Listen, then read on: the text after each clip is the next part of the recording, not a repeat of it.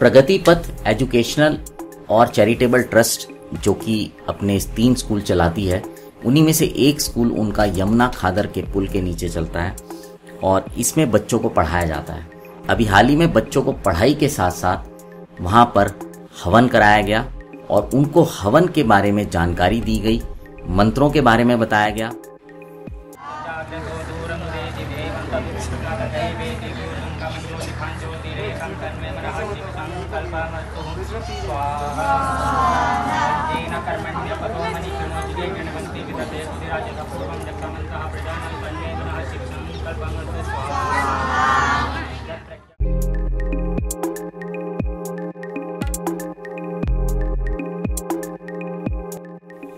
जैसा कि आप सब लोग जानते हैं, आजकल कोविड के वैक्सीनेशन चल रहे हैं और ये काम द्वारका में भी काफ़ी ज़ोर शोर से चल रहा है। संस्थाएँ अपने मेंबर्स को हॉस्पिटल्स के साथ टाई अप करके वैक्सीनेट करा रही हैं और ऐसे ही द्वारका में एक सीनियर हब संस्था है, उन्होंने भी अपने मेंबर्स को वैक्सीनेशन दिलवाया।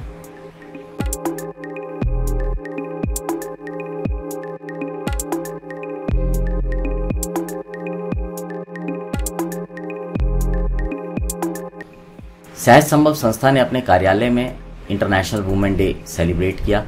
इस अवसर पर उन्होंने अलग अलग क्षेत्रों में काम करने वाली महिलाओं को बुलाया था, जिसमें श्रीमती संध्या सिंह, श्रीमती मंजुला, जो कि एडवोकेट हैं, पुनीता जी, जो सोशल एक्टिविस्ट हैं Mrs Anju Sethi Mrs Mamta Mishra Mrs Manju और मिसेज अंकिता त्रिखा थी और इसके साथ साथ ही लाल बहादुर शास्त्री टेक्निकल इंस्टीट्यूट से 23 बच्चों को बुलाया गया था।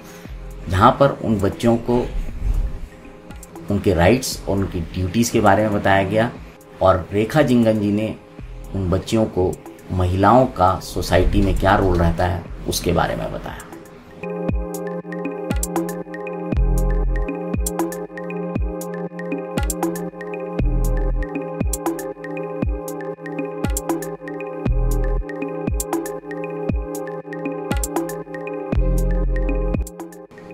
एज वेल एसोसिएशन द्वारका ने आकाश हेल्थ केयर के साथ एक free medical health checkup camp organise किया था उमिया सदन द्वारका सेक्टर चार में।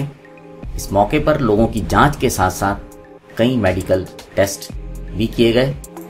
इस अवसर पर वहाँ पर लोगों को देखने और जानकारी देने के लिए डॉक्टर इंदर कस्तूरिया और डॉक्टर राहुल कुमार भी मौजूद थे।